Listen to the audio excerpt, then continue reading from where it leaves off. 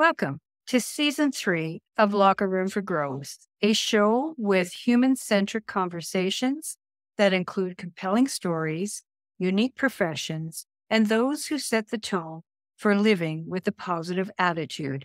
I'm your host, Debbie Elicksen. Please subscribe to the show and check out our past episodes and clips.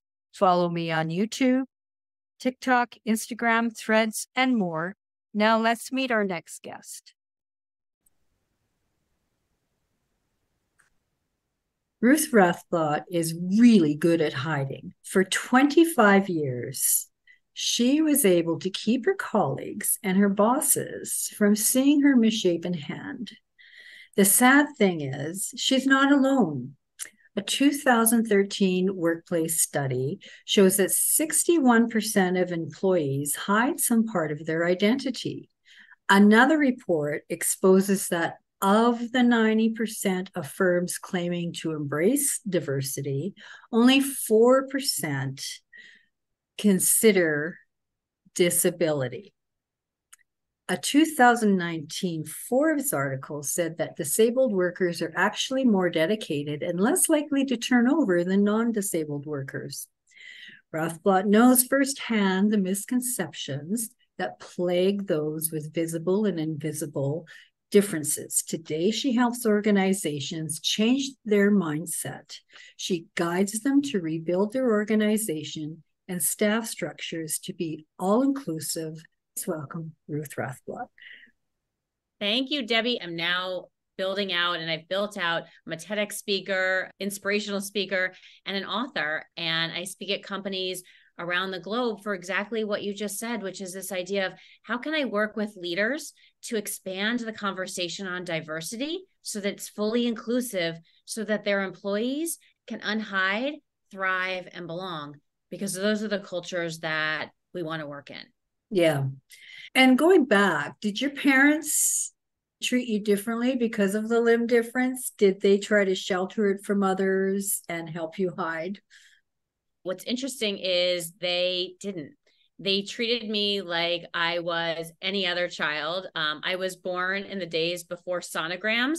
So my limb difference, my hand, was definitely an anomaly. It was something that a lot of doctors and nurses hadn't seen before. And my parents didn't know. They weren't, they were surprised when I was born my father was rushed out of the hospital room. My mother stayed there and they took me away from her to kind of sat, swaddle me up and clean me up.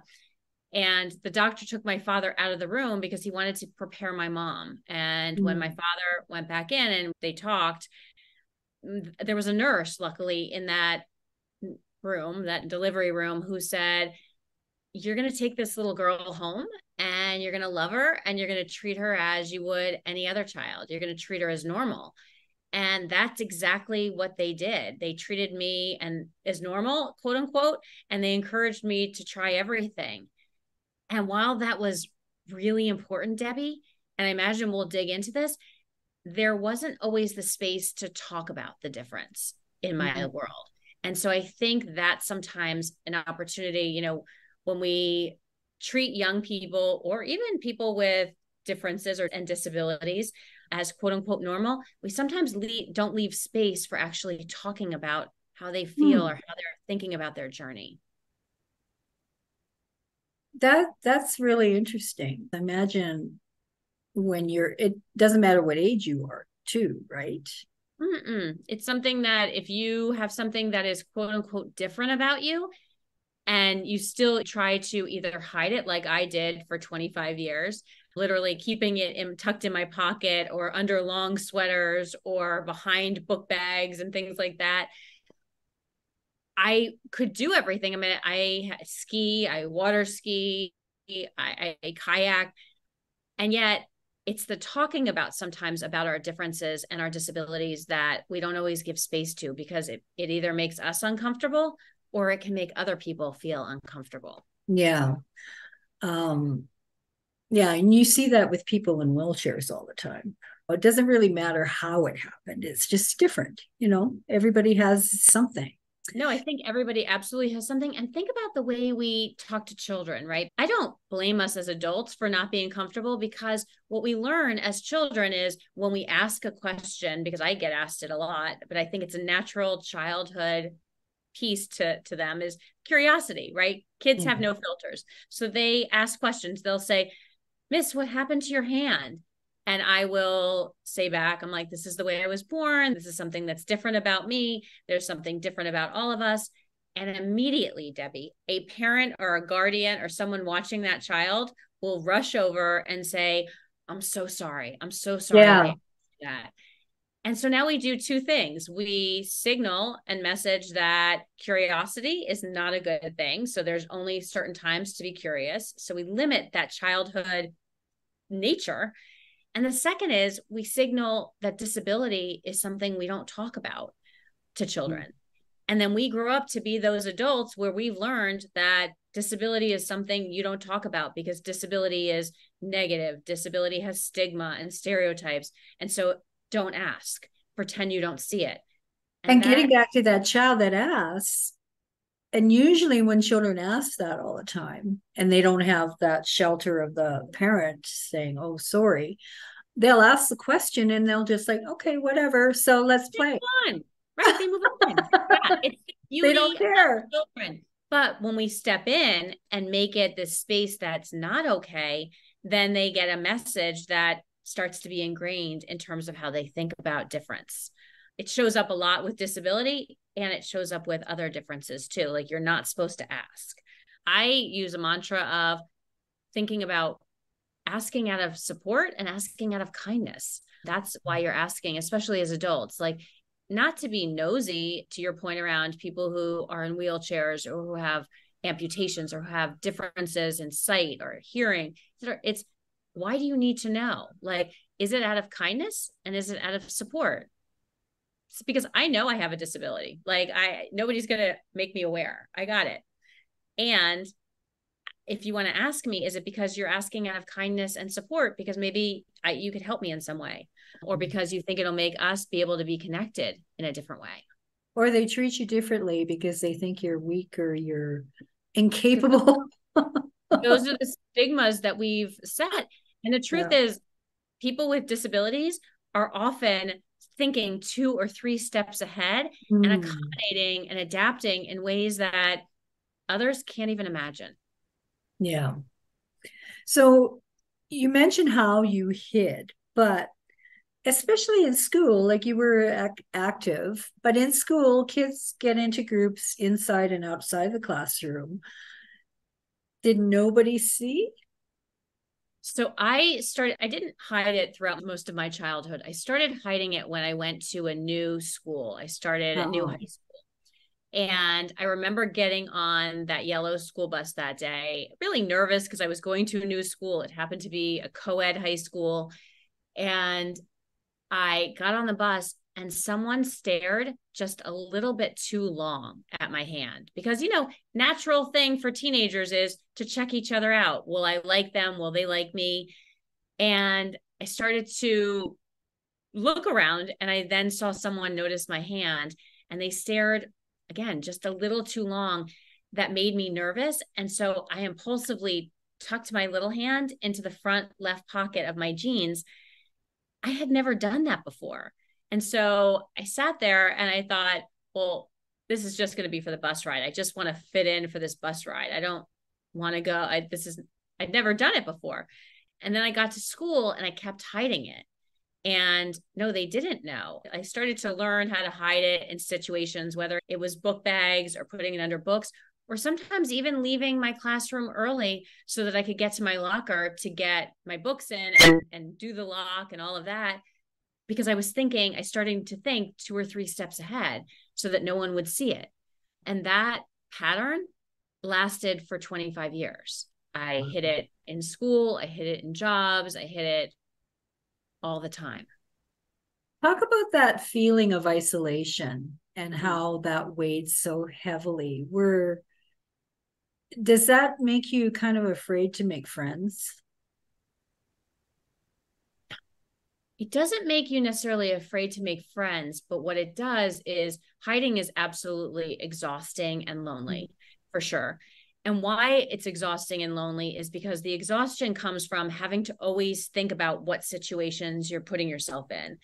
It's it's exhausting because you oh, should I go to that picnic? Well, how am I going to sit? It's going to be hot out do I can I have to wear long sleeves because I don't want anyone to see? Or do my outfits always have pockets? If I'm going to a social event how am I going to hold certain things and not have someone see it? So it's the, the mental exhaustion from having to figure out all those ways to hide is is hard.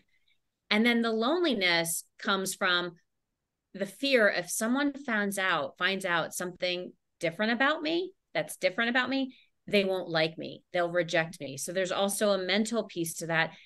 And what happens is you stop doing the things that you really enjoy because you get overwhelmed with anxiety of well someone's going to find out. I can't i won't be able to do the thing. I definitely won't be able to do it with one hand. So you it stops you from doing the things you love. I stopped going to the beach with friends not just because I didn't love wearing a bathing suit. That wasn't it. It was, I didn't want to wear short sleeves. I didn't want to have somebody mm-hmm. see it. I stopped going skiing.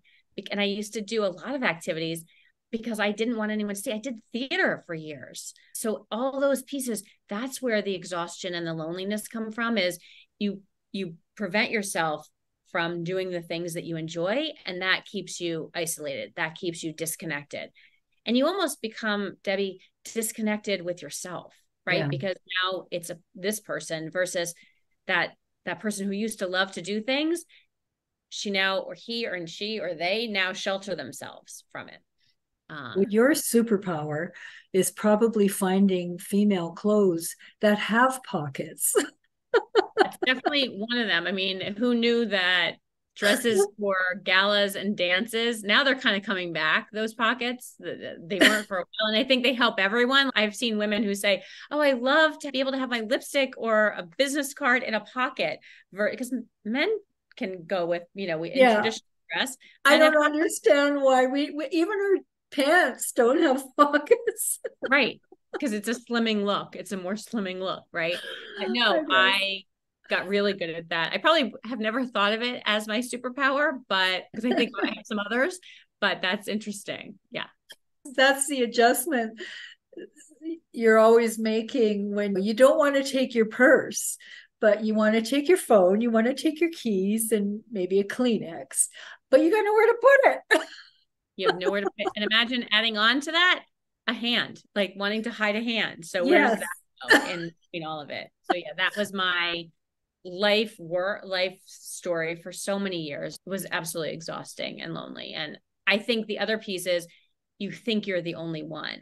You yes. think you're the only one who doesn't have it all together the only one that's hiding something about themselves. And that's actually not reality. Well getting to that when you're in the workplace do you look around and do you suspect there's some other people that might be hiding something as well? Like maybe not necessarily the same type of difference but something else? Or do you have like this radar where okay i know they're they're compensating and hiding something or does that not i think when you're hiding when you're deep into hiding and again most of us are hiding something I think you are not thinking about other people. You're thinking about yourself and how mm. it's almost, I don't want to make it dramatic sounding, but it feels like survival. Like, how am I going to take care of myself so no one judges me, no one rejects me, no one, I don't reject myself. And the truth is, I make it comfortable for other people when I'm hiding because they don't have to deal with it then. So I think it's much more internalized. And I will say that, so I would say I didn't um, look for other people who were hiding because I truly thought I was the only one hiding. I, I, at one point, Debbie, thought I invented hiding. Like I thought, oh, well, I'm the only one that's hiding. what I didn't realize is through the research and writing of my book that so many of us are hiding, just like the statistic that you mentioned that I referenced, which is that 61% of people are hiding something. And Debbie, I think that number is so much higher. That was a yeah. 2013 study think about what the last 10 years have been like let alone the last three years where people have hidden behind blank screens, right? Cameras off, muted microphones. People have gotten comfortable in this controlling the certainty of their environment from home that we don't know. I mean, I have through through my book and my TEDx, people have shared what parts of themselves that they're hiding, whether it's the person who is hiding that they're immobile from the legs down and they were hired during COVID and they don't want their coworkers to know, mm-hmm. or the person who has a child with mental health challenges that mutes their microphone and their camera because they don't want to see, they don't want their fellow employees seeing that meltdown or those challenges and thinking that they're a bad parent or guardian. So people, yeah, are hiding things all the time. I have talked to people who hide their accents, their stutter. I mean, mm. hide their financial backgrounds, their religion. It's hiding the is, culture too sometimes. Absolutely. It's hiding is you universal. can pass as a different culture then you've seen that it happen as well i think that absolutely happens with many types of religion it happens with politics people don't share yes. their politics because they're so afraid of the rejection or the judgment um, so well, it's funny. This weekend, uh, I finally saw the whale movie. Hmm. Don't know if you've seen it, but speaking of hiding, he was a teacher and he did Zoom calls. It's on Amazon Prime. Yeah, it's with Brendan Fraser. Yes. Right? And yeah. and he won an Academy for it. He's a teacher and teaches classes online, but his camera is always off. Mm. Because he's so obese. It's really, really good. But and then finally at the end, he finally reveals himself and there's judgment right? There's judgment around difference. There's judgment that we all have. It's that whole subject area of unconscious bias. And so how do we move past if we know that's true about ourselves that we all have unconscious bias how do we allow for questions so that we can move past the bias and start to have conversation and not fear getting in trouble, fear being, you know, called into HR in the workplace like that. Cause I think that goes along, along, along with, well, I'm not going to say anything then. I'm not going to, I'm going to act like I don't see it so that I don't get in trouble. Well, how do we create then how do we create conversations so that people can talk about difference and diversity um, in ways that don't exclude people Tell us about that moment when you finally decided to shed your shield. How did others treat you after that? And what type of work were you doing at the time? Sure. So, as I shared, I was hiding for 25 years. And there's a point that you get so exhausted and burnt out and lonely. And I it was affecting my personal life and it was affecting my professional life and it, it wasn't that i wasn't getting promoted. I was getting promoted into senior roles. I eventually was leading organizations. And so it wasn't holding me back in the sense of oh people were thinking i couldn't do the job. It was that i wasn't connecting to my teams in authentic ways. I wasn't connecting. I wasn't sharing my journey. So i was really adapting this old school mentality of leadership where we keep people at arm's length. We don't show vulnerability we stay disconnected from our teams because if that means if we blur the boundaries a little bit and let them know that we may have challenges then we're going to what not be seen as capable. And so i was definitely in a space of full exhaustion i would say definitely burning out. And i knew i couldn't keep going like that. And i imagine debbie there may be some of your listeners who have felt just like that that space of i'm exhausted. I'm burning out. Something's got to change. At one point i made a choice to i went had therapy and i made a choice to let someone in. And i invited this person in to show me basically how to unhide. And that person showed me how to actually look at my hand how to touch it how to actually take care of it I hadn't done that before. I'd spent so many of my years doing everything single handedly that I didn't know how to let someone in to help. And yeah. was in those moments that I started to then change the way I saw myself because as I could let him in, but also I could let myself get to know me, I started to to change how I saw myself and I started to let other people in too. And I will say that's I have this four step method to unhiding, which is it starts with acknowledging what you're hiding, right? So it's that space of, wow, I'm hiding my hand for me. It's exhausting, it's lonely, it's preventing me from connecting with others and connecting with myself. The second step is inviting someone in that you trust. And I imagine if your listeners are thinking about it, somebody often pops to mind of someone that you can trust, right? Someone that you can invite in, whether it's a friend, a coworker, especially in the workplace, a manager, somebody in HR, somebody that you can trust with this piece that's holding you back. And then it's the idea of starting to build your community. And that's why what I see in the workplace and what helped me is the idea of ERG groups or affinity groups or these groups of where you can connect with people who are having the shared experiences. Because that's what happened to me. I found a group of people with limb differences who I thought, again, I was the only one that had ever hidden my hand. Not true. There were so many people who had gone through such similar patterns, and we all thought we were so alone. And so that building community part is super important. And then I'll say the next, the fourth and final step is sharing out your story. Mm-hmm. And so for me, that looks like going on podcasts, speaking around the world around about this topic, so that someone else may say, "Hey, I find myself there too," and wow, I see myself in her. What do I need to? How do I stop this part of my life? Because as as I started to unhide, I started to build deeper connections. I started mm-hmm. to trust people differently. I started to trust myself and I got back to living the things I loved doing. And that was freeing and lightening for sure and healthy. And I know the subject of and the title of your podcast is about growth, right? It's a locker room for growth. That's what unhiding is. It's about growth and it's about connection. Hmm.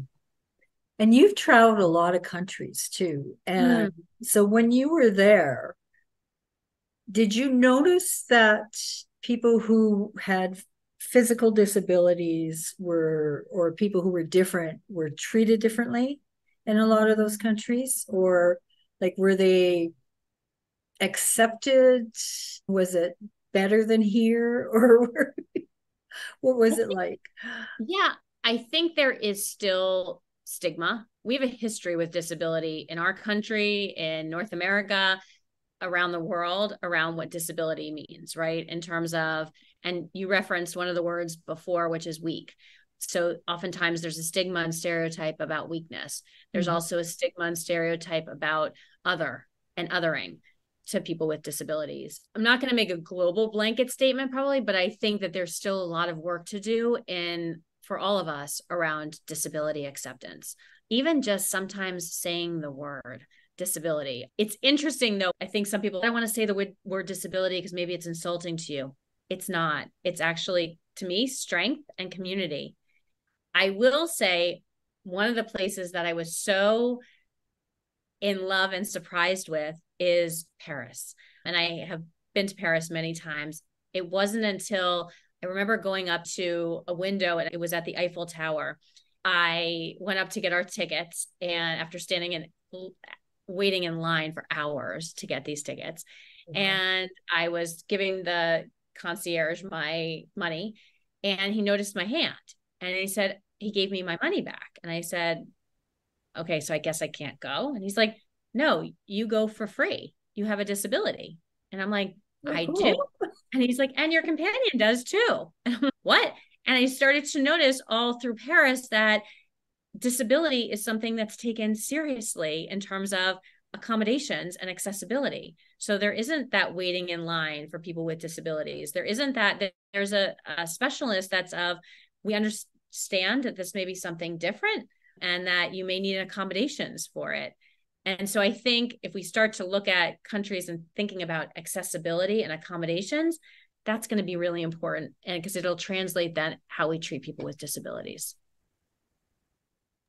So we talked a little bit before we hit the record button about visibility in different individuals and how architectural designs, accessibility services, ledger activities, ageism, and so much more. Like you say, we've got a long way to go to uh, to be inclusive, but in your current line of work, how to help address these issues, how do we get them to hear this message to include this aspect into DEI?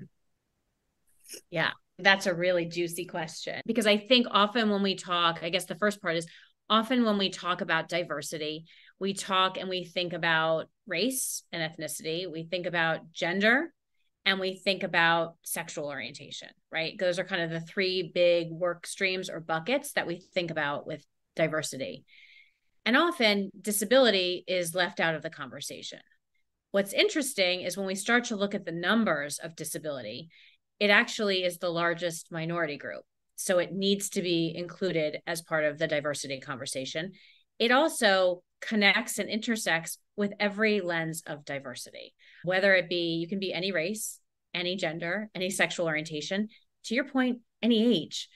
Disability can affect you. You can be born with a disability, you can acquire one at some point in your life, or you can be taking care of somebody with a disability. So, disability doesn't discriminate, it affects us all. And so, as we build out diversity programs, when we leave disability out of the conversation, we're not having a full diversity conversation.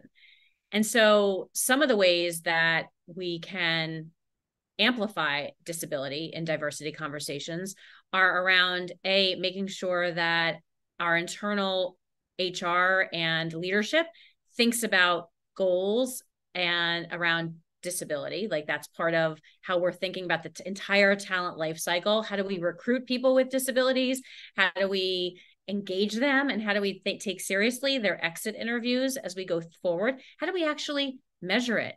Because if we don't measure it we're not really counting it so we don't know what our employee population looks like so there's an accountability piece to it and then how are we staffing in terms and training our teams internally around disability and disability awareness and accessibility. It's interesting, and you may have run into this in your world. We often think about accommodations as only for people with disabilities. And so then people get nervous. Well, I can't say anything because I don't want to be seen as high maintenance. I don't want to be seen as costing the company something because they'll say no to it. They won't be believed. I'll have to get in every doctor's note why instead wouldn't we think about accommodations for everyone so that you say, what supports do you need to do your job best? And that's part of the answer. And then it's about, I have this model, another framework that I've built out, which is called the Cure to Inclusion. And it focuses on four letters, and it's an acronym for connection, understanding, representation, and empathy as a way to build a full diversity program through the talent life cycle. And the biggest part of the starting place is understanding your own views around difference and disability. And it's about leadership taking the first step. Because if leaders aren't going to take the first step in thinking about their ideas and their biases around disability and difference, then we're not ever going to solve for this because leaders need to go first. And I fought that for a really long time I had people come in and say, when I was a leader, oh, what's the culture like here? And I'd say, oh, well, everyone helps dictate the culture. I don't work with robots, everyone's part of it. What I didn't realize is that as a leader, I went first. I had to go first in terms of setting culture and setting um, tone. And that I part of it was allowing for people to get to know me in different ways and know my journey of my limb difference and my disability and that that would then open up because what i realized is i was creating cultures where people were afraid to share their vulnerabilities and share their challenges i was creating this quote unquote perfect hidden workplace and that's not a healthy workplace. It doesn't allow for retention for creativity for engagement or innovation. And so leaders need to go first. And that's part of the work that i do now is helping leaders to expand the conversation on diversity and difference so that their employees can unhide and thrive and belong. I guess the other piece I would just add to is it's also about doing an internal audit about of representation, whose voices are heard, whose voices are not heard, so that you can get a sense of where you may not be listening. Looking back on your life now, how have you changed as a person since you went down this path? It has brought me freedom. It has allowed me to sleep at night. It has allowed me to engage in other activities and things that I got back to living my life. I got back to doing the things. And to your point from before, like I travel now, I travel in such different ways. I was in Belize a few years ago and doing a sabbatical and went ziplining. And even though there was some disruption with the ziplining because they thought I couldn't do it or one of the guides thought I couldn't do it with one hand. I stood up for myself and I said, no, no, tell me the rules of engagement here, like how I do everything. And luckily, there was another guide who overheard and said, Oh, yeah, you only need one hand to zip line, you'll be fine. So it got me back to advocating for myself and doing the things I love. Though I will tell you, I just posted about that this morning. I went to a recent talk show to be a, audience member, and one of the activities was to break a board in half with our hand. And I got really nervous, and that anxiety started to creep up again. Of not that I was going to have to show my hand, but more, could I do it? Now I've done things my entire life. I've held things, I've done everything, I think, at this point. But what was so amazing to me is that those voices of self doubt were still so surface level. Even though I'd worked through a lot, they were still there. And so it's a constant reminder of we need to continue growing. We need to continue challenging ourselves. And that's what I've been doing. And it was a great exercise to work through, not to dismiss it and say, well, I don't have that anymore. No, I, I did. It was real. I saw, I felt the anxiety. I felt the nerves coming up of could I do it? What if I hurt this hand? It's my only hand that writes and things like that. And I do a lot of writing. And not to dismiss it, but to acknowledge those fears because that only then can you really move past them and change. If you ignore them, they'll follow you. Yeah, yeah. And of course, people always other people doesn't matter what they are you know they gossip no matter they don't even have to have a difference your inner talk is different now, right? So, like you just mentioned, you have to work through that inner talk so that you don't believe what they're saying. it's like a reality check a lot of the time because, but I think again, even with all the work I've done, I mean, I've been to therapy, I have unhidden, I've written a book about this, right? Like, and I, and I speak around it. It's still very easy to let that voice slip in a little bit because it's still mm-hmm. there and so, how do you deal with that voice rather than saying it doesn't exist or running away from it? Confront it, acknowledge it. You know, I hear you. What am I really worried about here? And then letting it go because the reality is, I could break that board and I could hold the board for someone else to break. Yeah. And it was beautiful. It was a victory, but it was about letting go of that internal voice. You're on a much needed path are there others who carry the torch with you? Where does this go from here? The beauty of this is, I think there are a lot of people who are on this path of growth and thinking about diversity in different ways. First, expanding that conversation around diversity. I think the disability community is definitely, and there's so many amazing people in that community that want to expand the diversity conversation. So that's first. And I think the unhiding piece is, you know, when I first came up with that name of Unhiding, I got some pushback saying, well, what does that even mean? When Sheryl Sandberg talked about leaning in, did we all know what she meant by that? No. So explaining unhiding and hiding has been an opportunity to connect with people and for people to say, oh, me too. Wait, I've been doing that. And Debbie, people, when they own what they're hiding or at least are allowed to say it out loud, it's like their shoulders drop and they exhale. Mm. And so the mantle of unhiding is absolutely the torch is absolutely being being moved um, in terms of building out this community of people for unhiding and giving space to it so that you're not so alone. That's a perfect way to end this. Thank you so much, Ruth. It was just wonderful to have you on the show. No, thank you for giving me the opportunity to amplify the message of unhiding.